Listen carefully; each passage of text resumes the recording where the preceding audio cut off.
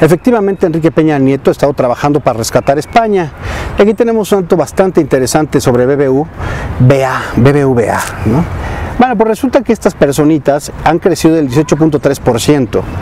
Pero no es tan relevante pensar en el 18.3% del crecimiento de BBVA mientras España se hunde, mientras México se hunde, y justamente México representa nada más ni, ni más ni menos que más del 40% de todo lo que es la posibilidad económica de esta corporación transnacional que se dedica a enriquecerse y empobrecer a los países del mundo. La banca internacional, esta banca que la cual eh, está gobernando en México, pues tiene algunas cosas bastante interesantes. No están apoyando a la inversión privada, apoyan efectivamente desde el gobierno la inversión extranjera, no la privada nacional, de esta gente que hemos dicho que es la que realmente se la está jugando por México. La inversión tendría que tener tasas de interés menores. La tasa de interés baja hace que la gente pueda pedir dinero y que pueda pagar por hacer una inversión de algo, un negocio, entonces lo puede pagar. Lo que está pasando en México es que las, las tasas de interés son muy altas. Eso hace que la gente al final pierda todo. En España nos podrían dar bastante ejemplos de cómo está funcionando BBVA, entre otras corporaciones bancarias, y que además, bueno, pues resulta que dependen también de un banco autónomo, que por ejemplo el Banco de México, y que el Banco de México depende de la reserva, del Banco de la Reserva Federal de Estados Unidos.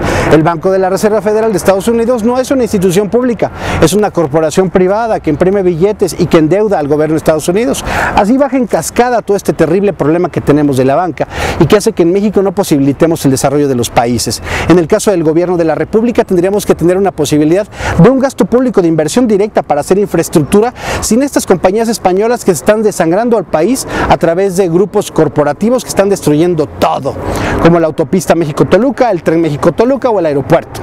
Así que lo que tendríamos que tener es una banca nacional que apoye con tasas de interés bien pequeñas a los empresarios nacionales, con un gobierno de la República que invierte en gasto corriente, en gasto público y que efectivamente lograría que hubiera un poder adquisitivo mayor entre todos y eso mismo sería el consumidor de esas inversiones que estaríamos pidiéndole a los bancos para que nos apoyaran.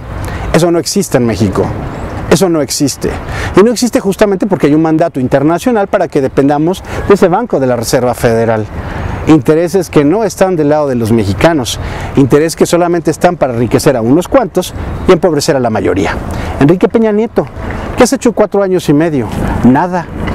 A ti se te paga para que evidentemente estés desarrollando diferentes acciones a favor del pueblo. Sin embargo, hasta ahora sales y nos dices todos unidos y vamos a hacer un sello que diga hecho en México. ¿Hecho en México, Peña? Lo pudiste haber hecho hace cuatro años. ¿Por qué este ahora cuando ya no vales nada? Ya no vales un cacahuate, nadie te pela, güey. Tienes menos del 10% de aprobación. Nadie te apoya. Creo que antorcha campesina todavía. ¿Sabes qué te recomiendo? Sal de los baños, deja de estar escondido y realmente haz algo por el país. No te pongas a perseguir al que te critica. Ponte a coincidir con el que te critica, porque ya es hora. Ya es hora de que este país salga adelante.